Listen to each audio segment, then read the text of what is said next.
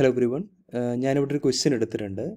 Genetics എന്നുള്ളൊരു question ആണ്. Principles of inheritance and variation എന്ന് പറയുന്ന ചാപ്റ്റർ ചാപ്റ്ററിൽ നിന്ന് എടുത്തൊരു ക്വസ്റ്റ്യൻ ആണ് നിങ്ങളുടെ നീറ്റിന് എക്സാം നിങ്ങളുടെ നീറ്റ് എക്സാമിന് എക്സ്പെക്റ്റ് ചെയ്യാൻ പറ്റുന്ന ഒരു ക്വസ്റ്റ്യൻ ആണ്. ഒരു ട്രിക്കി ക്വസ്റ്റ്യൻ ആണ്. ഓക്കെ സോ ഫസ്റ്റ് നിങ്ങളൊന്ന് ഇതിന്റെ ഒന്ന് സ്ക്രീൻഷോട്ട് എടുത്താൽ അല്ലെങ്കിൽ ഒന്ന് പോസ് ചെയ്ത് നിങ്ങൾ ചെയ്ത് നോക്കൂ. എന്നിട്ട് നിങ്ങൾ സൊല്യൂഷൻ നോക്കിയാൽ മതി. ഓക്കെ ഞാൻ ക്വസ്റ്റ്യൻ വായിക്കാം. In maize plan coloured grain is dominant over colorless and full grain is dominant over shrunken grain. A heterozygote for colored and full grain was test crossed and the following results were obtained. Okay so നാല് statement കൊടുത്തിട്ടുണ്ട് coloured and full എന്ന് പറയുന്നത് two not five coloured and shrunk എന്ന് പറയുന്നത് sixteen coloured and full എന്ന് പറയുന്നത് colourless and full എന്ന് പറയുന്നത് ഫോർട്ടീൻ കളർലെസ് ആൻഡ് ഷ്രങ്ക് എന്ന് പറയുന്നത് ടു ഹൺഡ്രഡ് ദെൻ ക്വസ്റ്റ്യൻ എന്ന് പറയുന്നത് if the two genes responsible for colour and shape are linked then determine the distance between these linked genes okay so അവരുടെ distance ആണ് ചോദിച്ചിട്ടുള്ളത്. നമുക്കറിയാം എങ്ങനെ നമ്മൾ ഡിസ്റ്റൻസ് കണ്ടുപിടിക്കാം? ഡിസ്റ്റൻസും റീകോമ്പിനേഷൻ ഫ്രീക്വൻസിയും തമ്മിലൊരു ബന്ധമുണ്ട്. ശരിയല്ലേ? എന്താണ്? ഡിസ്റ്റൻസ് റീകോമ്പിനേഷൻ ഫ്രീക്വൻസിക്ക് പ്രൊപ്പോർഷണൽ ആയിരിക്കും. ഇത് നമ്മൾ ജെനറ്റിക് മാപ്പ് എന്ന് പറയുന്ന കോൺസെപ്റ്റിൽ പഠിച്ചതാണ് എൻ സി ആർ ടിയിൽ അപ്പോൾ റീകോമ്പിനേഷൻ ഫ്രീക്വൻസി എന്ന് പറഞ്ഞാൽ എന്താണ്? റീകോമ്പിനേഷൻ ഫ്രീക്വൻസി എന്ന് പറഞ്ഞാൽ എന്താണ്? Number of recombinants recombinants divided by total number into 100 number of recombinants divided by total number into hundred ചെയ്താൽ നമുക്ക് എന്ത് കിട്ടും? റീകോമ്പിനേഷൻ ഫ്രീക്വൻസി കിട്ടും. ഈ റീകോമ്പിനേഷൻ ഫ്രീക്വൻസി എന്തിന് ഈക്വൽ ആയിരിക്കും? അല്ലെങ്കിൽ എന്തിന് പാരലായി പാരലൽ ആയിരിക്കും? ഡിസ്റ്റൻസിന് പാരലൽ ആയിരിക്കും. ഓക്കെ സോ ഡിസ്റ്റൻസ് കണ്ടുപിടിക്കാനും നമുക്ക് എന്ത് കണ്ടുപിടിച്ചാൽ മതി? റീകോമ്പിനേഷൻ ഫ്രീക്വൻസി കണ്ടുപിടിച്ചാൽ മതി. ഇനി അപ്പോൾ ഇവിടെ നമ്മൾ മനസ്സിലാക്കേണ്ടത് എന്താ? എന്താണ് ഇതിൽ റീകോമ്പിനൻസ് ഓക്കെ റീകോമ്പിനന്റ് നമ്മളൊരു എൻ സി ആർ ടിയിലൊരു ടിപ്പിക്കൽ എക്സാമ്പിൾ ഉണ്ടല്ലോ. അതായത് റൗണ്ട് യെല്ലോ പ്ലാന്റിനെ നമ്മൾ റിങ്കിൾഡ് ഗ്രീൻ പ്ലാന്റുമായിട്ട് സോ ഇത് ഒന്നാമത്തെ പാരന്റാണ് ഇത് രണ്ടാമത്തെ പാരന്റാണ് അതായത് സേ ഇത് മെയിൽ ഇത് ഫീമെയിൽ ആണെന്ന് വിചാരിക്കും. Okay so round yellow and wrinkled green cross ചെയ്യുമ്പോൾ നമുക്ക് എഫ് വണ്ണിലൊരു ഒരു എഫ് വണ് കിട്ടും. ദെൻ എഫ് ടു റേഷ്യോ എന്താ വരുന്നത്? Nine is to three is to three is to one ഇതിൽ ഈ നയൻ എന്താണ്? റൗണ്ട് ആൻഡ് യെല്ലോ ആണ്. വൺ എന്താണ്? റിങ്കിൾഡ് ആൻഡ് ഗ്രീൻ ആണ്. സോ ഇവർ രണ്ടുപേരുമാണ് പാരന്റൽ അപ്പോൾ ഈ ത്രീ എന്താണ്? ത്രീ എന്ന് പറയുന്നത് സേ റൗണ്ട് ആൻഡ് ഗ്രീന് അത് ഒരു റീകോമ്പിനന്റ് അതുപോലെ മറ്റ് മറ്റ് ത്രീ എന്താണ്? Wrinkled and yellow right so ഇവരെന്താണ്? ഇവർ പാരന്റ് അല്ലല്ലോ. സോ ഇവരെന്താണ്? റീകോമ്പിനന്റ് അതിനെയാണ് നമ്മൾ റീകോമ്പിനന്റ് എന്ന് പറയുന്നത്. അപ്പോൾ നിങ്ങൾ ഇവിടെ എടുത്തു നോക്കുക ഇനി ക്വസ്റ്റ്യൻ എടുത്തു നോക്കുകയാണെങ്കിൽ നിങ്ങൾക്ക് പറയാൻ കാണാം. ഈ maize plan maize plan coloured grain is dominant over colourless and full grain is dominant over shrunken grain ഇപ്പോൾ നമുക്ക് ഞാൻ ജസ്റ്റ് ഒന്ന് അത് റെപ്രസെന്റ് ചെയ്യാൻ നോക്കാം. Coloured grain is dominant over colourless എന്നല്ലേ? നമുക്ക് വേണമെങ്കിൽ എന്ത് കൊടുക്കാം? ഓക്കെ അതിന്റെ ആവശ്യമില്ല. ഇതിൽ ഞാൻ നേരിട്ട് കാണിച്ചു തരാം ഇതിൽ കളേർഡ് ആൻഡ് ഫുള്ള് കളേർഡ് ഗ്രെയിന് ഡോമിനന്റ് ആണ്. കളർലെസ് സോ ഇതിൽ നിങ്ങൾക്ക് നിങ്ങൾ എടുക്കുകയാണെങ്കിൽ കളേർഡ് ആൻഡ് ഫുള്ള് ഒരു പാരന്റൽ ക്യാരക്ടറാണ് ഞാൻ മിനിമൈസ് ചെയ്യാം. നിങ്ങൾ എടുത്ത് നോക്കുകയാണെങ്കിൽ നിങ്ങൾക്ക് മനസ്സിലാവും. കളേർഡ് ആൻഡ് ഫുൾ എന്ന് പറയുന്നത് എന്താണ്? പാരന്റൽ ക്യാരക്ടറാണ് അതുപോലെ കളർലെസ് ആൻഡ് ഷ്രങ്ക് എന്ന് പറയുന്നതും പാരന്റൽ ക്യാരക്ടറാണ് പക്ഷേ കളേർഡ് ആൻഡ് ഷ്രങ്കൻ എന്താണ്?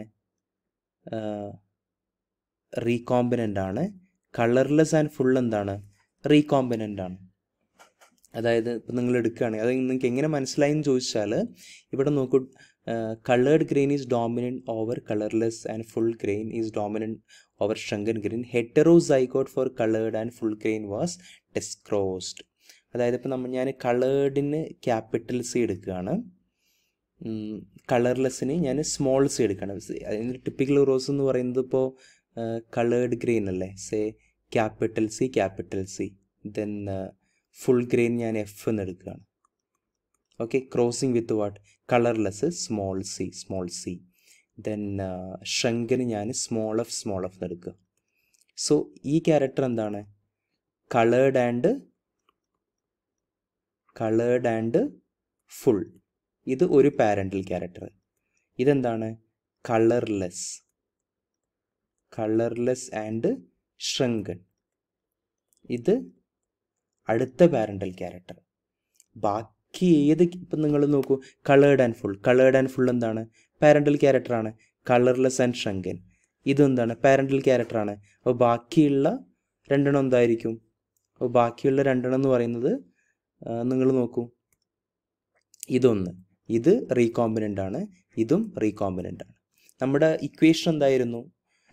Recombination frequency equal to recombination frequency equal to number of recombinants right divided by total into hundred എന്നല്ലേ? ഇതിൽ നമ്പർ ഓഫ് റീകോമ്പിനൻസ് എത്രയാണ് വരുന്നത്?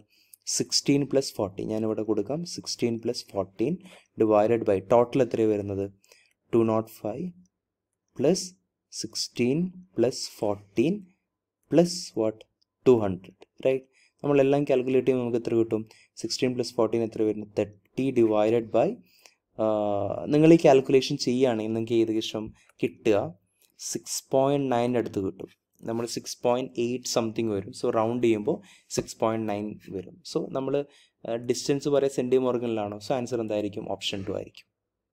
ഓക്കെ സോ ഇത്രയാണ് വരുന്നത്. വളരെ സിമ്പിളായിട്ടുള്ള ക്വസ്റ്റ്യൻ തന്നെയാണ് നിങ്ങളൊന്ന് കൃത്യമായിട്ട് വർക്കൗട്ട് ചെയ്താൽ കിട്ടാവുന്നതേ ഉള്ളൂ. ഓക്കെ സോ എന്തെങ്കിലും സംശയം ഉണ്ടെങ്കിൽ നിങ്ങൾ കമന്റ് ചെയ്യുക. നമ്മൾ ചെയ്തത് എന്താണ്? നമ്മൾ ഡിസ്റ്റൻസ് ചോദിച്ചു അപ്പോൾ നമ്മൾ ഡിസ്റ്റൻസ് എന്തുമായി കണക്ട് ചെയ്തു? റീകോമ്പിനേഷൻ ഫ്രീക്വൻസിയായിട്ട് കണക്ട് ചെയ്തു. ദെൻ റീകോമ്പിനേഷൻ ഫ്രീക്വൻസി കണ്ടുപിടിച്ചു. നമുക്കറിയാം ഡിസ്റ്റൻസ് കണ്ടുപിടിക്കാൻ എന്ത് കണ്ടുപിടിച്ചാൽ മതി? റീകോമ്പിനേഷൻ ഫ്രീക്വൻസി കണ്ടുപിടിച്ചാൽ മതി. ഓക്കെ ഫൈൻ ഇനി നമുക്ക് ഒരു സിമ്പിൾ ആയിട്ടുള്ള ക്വസ്റ്റ്യൻ എടുക്കാം. ഓക്കെ? ഇതൊന്ന് ചെയ്തു നോക്കൂ. നിങ്ങളൊന്ന് പോസ് ചെയ്തിട്ട് നിങ്ങളൊന്ന് ചെയ്തു നോക്കൂ. ഇഫ് ദ ജീനോ ടൈപ്പ് രണ്ട് ജീനോ ടൈപ്പ് തന്നിട്ടുണ്ട്. The this one and this one are ഇത് രണ്ടും ക്രോസ് ചെയ്തു. ക്രോസ് ചെയ്തപ്പോൾ are cross what will be the proportion of this genotype among the progeny ഈ രണ്ട് പാരൻസും ക്രോസ് ചെയ്താൽ കിട്ടുന്ന പ്രോജനയിൽ ഈ ജീനോ ടൈപ്പിന്റെ പ്രൊപ്പോർഷൻ എത്രയാണ് എന്നാണ് ചോദിച്ചിട്ടുള്ളത്. എത്രയായിരിക്കും? ഇത് സീറോ ആട്ടോ. ഓപ്ഷൻ ഫോർ സീറോ ആണ്. സി ഇവിടെ നമ്മൾ നോക്കേണ്ടത് നിങ്ങൾ നോക്കൂ. ഈ ക്യാപിറ്റലെയും ഇവിടുത്തെ ക്യാപിറ്റലെയും ഇവിടുത്തെ ക്യാപിറ്റലെയും ക്രോസ് ചെയ്ത് നമുക്ക് എന്ത് കിട്ടും? ക്യാപിറ്റലെ ക്യാപിറ്റലെ കിട്ടില്ലേ? ഈ ക്വസ്റ്റ്യൻ നമുക്ക് ആക്ച്വലി ചെയ്യേണ്ട ആവശ്യമില്ല. നോക്കിയിട്ട് തന്നെ നമുക്ക് ആൻസർ പറയാം. ഓക്കെ ഞാൻ പറഞ്ഞുതരാം എങ്ങനെയാണെന്ന്. ഇവിടുന്ന് ഒരു ക്യാപിറ്റൽ എടുത്തു ഇവിടുന്ന് ഒരു ക്യാപിറ്റൽ എടുത്തു. ഓക്കെ സോ അങ്ങനെ ചെയ്ത് നമുക്ക് ക്യാപിറ്റലെ ക്യാപിറ്റലെ കിട്ടും. ഓക്കെ പക്ഷേ ബി നോക്കൂ. ഇവിടുന്ന് ക്യാപിറ്റൽ ബി എടുത്തു. പക്ഷെ ഇവിടെ സ്മോൾ ബി മാത്രമേ ഉള്ളൂ. ഇവിടെ ക്യാ ഇവിടെയും ക്യാപിറ്റൽ ബി ഉണ്ടെങ്കിൽ മാത്രമേ നമുക്ക് ക്യാപിറ്റൽ ബി ക്യാപിറ്റൽ ബി കിട്ടുള്ളൂ പക്ഷെ ഇവിടെ സ്മോൾ ബി മാത്രമേ ഉള്ളല്ലോ. അപ്പോൾ അതായത് ക്യാപിറ്റൽ ബി ക്യാപിറ്റൽ ബി എന്ന് പറയുന്ന ജീനോ ടൈപ്പ് കിട്ടില്ല നമുക്ക്. അതുകൊണ്ട് ആൻസർ എന്തായിരിക്കും? സീറോ ആയിരിക്കും. ഈവൻ നമ്മൾ സി എടുക്കുകയാണെങ്കിൽ പോസിബിളാണ് ഇവിടെ നിന്നൊരു സി ഇവിടെ നിന്നൊരു സി പക്ഷെ ഡി നോക്കൂ നിങ്ങൾ ഇവിടെ സ്മോൾ ഡി മാത്രമേ ഉള്ളൂ ക്യാപിറ്റൽ ഡി ഇല്ല. അപ്പോൾ ഇതും പോസിബിൾ ആവില്ല. ഓക്കെ സോ ആൻസർ എന്താണ്? സീറോ ആണ്. ഇനി ഇത്തരത്തിലുള്ള മറ്റൊരു ക്വസ്റ്റ്യൻ ഉണ്ട്. സപ്പോസ് ഇനി നോക്കൂ. ലൈക്ക് ഞാൻ ഈ ക്വസ്റ്റ്യൻ ഒന്ന് മോഡിഫൈ ആണെങ്കിൽ ഇവിടെ നോക്കൂ. ഈ ഓപ്ഷനിൽ ഇവിടെ ക്യാപിറ്റൽ ബി ഈ സ്മോൾ ബിക്ക് പകരം ക്യാപിറ്റൽ ബി ആണെന്ന് വിചാരിക്കും. അതുപോലെ ഇവിടെ ഈ സ്മോൾ ഡിക്ക് പകരം ക്യാപിറ്റൽ ഡി ആണെന്ന് വിചാരിക്കും. അങ്ങനെയാണെങ്കിൽ ഇത് കിട്ടുമോ കിട്ടും. അതിന്റെ പ്രോബിലിറ്റി എങ്ങനെ കാണുക? ഞാൻ ജസ്റ്റ് ഒരു എക്സാമ്പിൾ പറയാം. ഇനി നിങ്ങൾക്ക് അതുമായി ഡൗട്ട് ഉണ്ടെങ്കിൽ നിങ്ങൾ പിന്നീട് എനിക്ക് കമന്റ് ചെയ്താൽ മതി. ഓക്കെ ഞാൻ ക്ലിയർ ചെയ്ത് തരാം. അങ്ങനെ കുറച്ച് ക്വസ്റ്റ്യൻ നിങ്ങൾക്ക് കാണാൻ പറ്റും. ഓക്കെ അതായത് ഇവിടെ നോക്കും.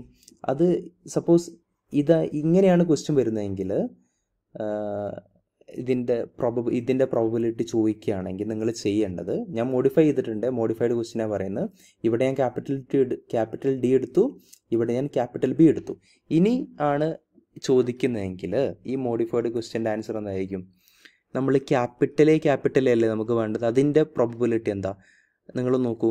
Capital A capital A then capital A small A then small A capital A small A small A so capital pay capital എന്ന് പറയുന്നത് വൺ ബൈ ഫോർ ആണ്. പ്രോബിലിറ്റി അതുപോലെ നമ്മൾ ബിയുടെ ചെക്ക് ചെയ്യാം. ക്യാപിറ്റൽ ബി ക്യാപിറ്റൽ ബിയുടെ പ്രോബിലിറ്റി ചെക്ക് ചെയ്യാം. അപ്പോൾ എന്താ കിട്ടും നമുക്ക്? നോക്കൂ. അത് നമ്മൾ ചെക്ക് ചെയ്യുമ്പോൾ നമുക്ക് മനസ്സിലാവും. ഇവിടെ ഒരു ക്യാപിറ്റൽ ബി ഉണ്ട്. സപ്പോസ് ഇവിടെ നമ്മൾ ക്യാപിറ്റൽ ബി എടുത്തു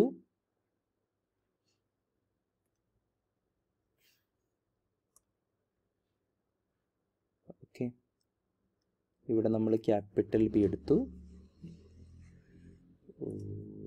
ഐ എം സോറി എന്തോ കഴ്സർ ഓക്കെ ഇനി അങ്ങനെയാണെങ്കിൽ capital one by four into B എങ്ങനെയാണ് നമുക്ക് probability capital B capital B capital B small B small B capital B so again one by four അല്ലേ വരുന്നത്? അതെ അതെ same condition capital B capital B capital B small B small B capital B small അതെ one by four. അങ്ങനെ നമ്മൾ ഇങ്ങനെ calculate ചെയ്യണം. ഇനി അടുത്ത് സിയുടെ പ്രോബിലിറ്റി നോക്കണം. അങ്ങനെ നമ്മൾ ആഡ് ചെയ്യണം. ഒരു കാര്യം ചെയ്യാം ഞാനൊരു മോഡൽ ക്വസ്റ്റ്യൻ ചെയ്യാം. അപ്പം നിങ്ങൾക്ക് അതുമായി ബന്ധപ്പെട്ട ആൻസർ കിട്ടും. ഓക്കെ